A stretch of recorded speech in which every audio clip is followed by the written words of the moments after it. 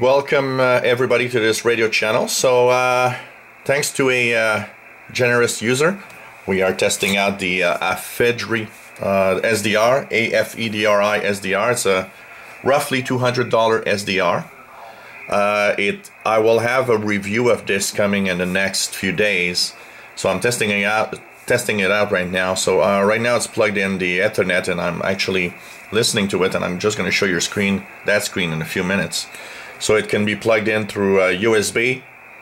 It can be plugged in through your network with network uh, card, or you can actually take just a network uh, cable and plug it directly to your network adapter on your PC, which is probably the best way to have the full spectrum, uh, the full bandwidth.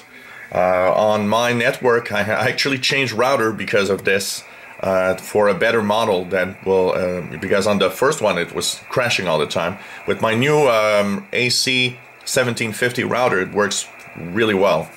So uh, I've changed the IP address to match the IP of my setup. So it's plugged in via this uh, little cable here to my sloper antenna. So the uh, cable is plugged in here in the back. And the front you have some uh, lights. And of course I'll talk about this a little later it's right now plugged into a uh, little 5 volt adapter um, with the USB cable to give it power, but you can actually put a little power supply if you want. So right now, just to give you guys an idea, and uh, this is set up next to my uh, my radios, of course, if you see here. Uh, it's plugged to my router, and if we just go quickly and check out what it looks like, this is what I'm doing right now listening to some AM radio operators uh, right now.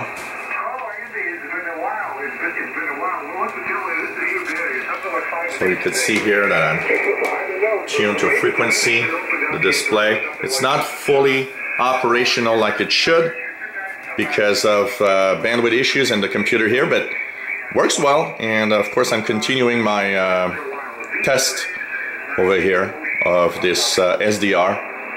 So, uh, and of course, uh, I'll be uh, probably doing my uh, tuning the bands on uh, this coming Friday with this SDR.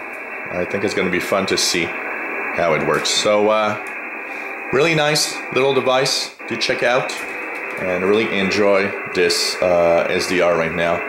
So, of course, we are going to talk more about it in the next few days. Hope you enjoy the videos.